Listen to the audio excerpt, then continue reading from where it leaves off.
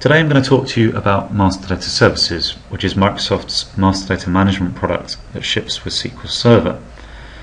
You would typically use MDS in order to deliver a single, clean and consistent view of your master data entities, such as customer or product, to any system that needs them.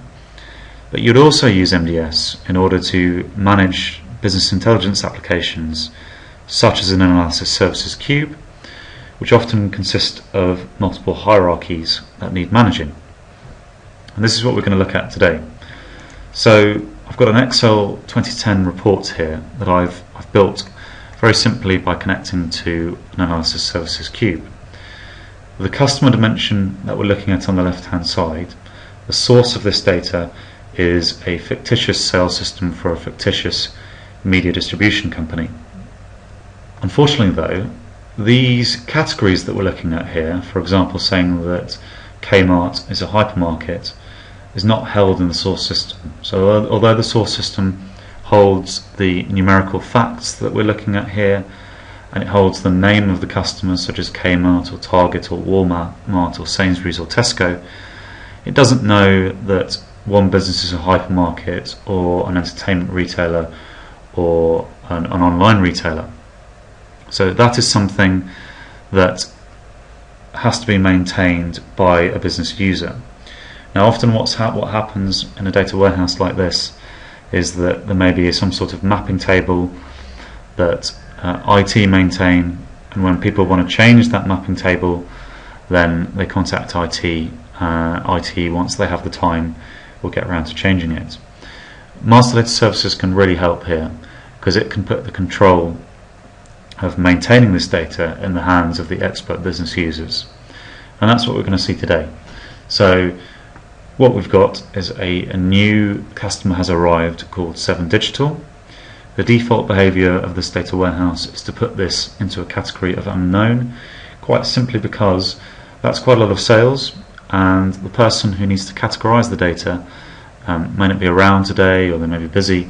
So at the request of the users, they want to see this £3 million of sales as soon as it's available. But we happen to know that 7 Digital is an online retailer, so we're going to we're going to use Master Data Services now to categorize 7 Digital correctly. So I'm going to go into Master Data Manager, and what I've got here is I, I can pick the model that I'm working with. So I typically have a model for perhaps locations, one for customer, one for products, depending on how many master data entities I'm managing. I'm just managing customers today, so I'm going to stick with customers.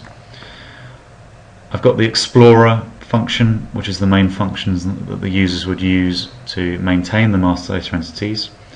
I've got version management, where I can create a new version of my master data of my of my entire master data entities can be very useful for, for archiving and what if analysis on master data. I've got integration management where I can create the objects that are needed to integrate with other systems. I've got some system admin features and I've got all the usual security that you might expect from this sort of product.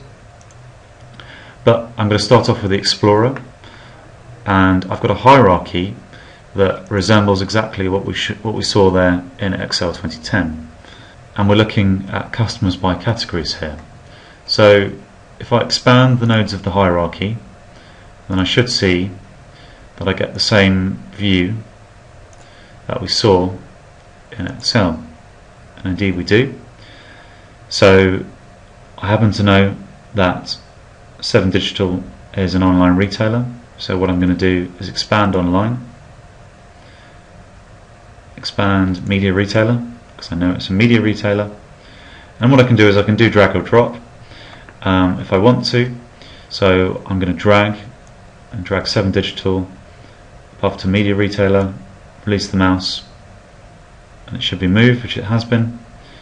And what I'm also going to do is uh, I perhaps just want to say that um, a couple of these, Carrefour and Auchan, perhaps we don't consider those hypermarkets anymore so I'm going to say they're supermarkets. So I just want to do that to show you the copy and paste facility.